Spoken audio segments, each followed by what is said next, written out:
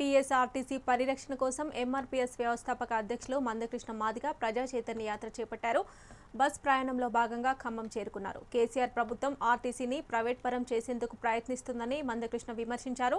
మార్చి వరకు బస్ ప్రయాణాలు కొనసాగిస్తామని ముగింపు సందర్భంగా హైదరాబాద్లో భారీ సభ నిర్వహిస్తామన్నారు. ఎస్సీ ఎస్టీ బీసీ మైనార్టీ సంఘాల నేతలంతా మూడు నెలల పాటు వ్యక్తిగత వాహనాలు పక్కన పెట్టి బస్సులో ప్రయాణిస్తూ ఆర్టీసీ ప్రైవేటీకరణకు కేసీఆర్ ప్రభుత్వం చేస్తున్న కుట్రలపై ప్రజల అవగాహన కల్పిస్తామన్నారు. తీసుకోవడం జరిగింది. గతంలో ఆర్టీసీ కార్మికులు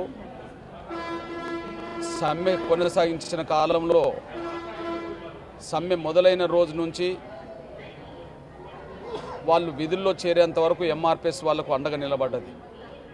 అయితే వాళ్ళ ఆకాంక్షల్ని దారుణంగా కేసీఆర్ ప్రభుత్వం అణిచేయడం జరిగింది. ఆంధ్రప్రదేశ్లో మన జనవరి ఒకటి నుంచి ఆర్టీసీ ప్రభుత్వంలో విలీనమైంది. ఆంధ్రప్రదేశ్లో ఆర్టీసీ కార్మికులకు ఉన్న కార్మిక వర్గం యాభై ఒక్క వేల మంది. ఈరోజు వాళ్ళు అక్కడ ఉద్యోగస్తులుగా మారడం జరిగింది.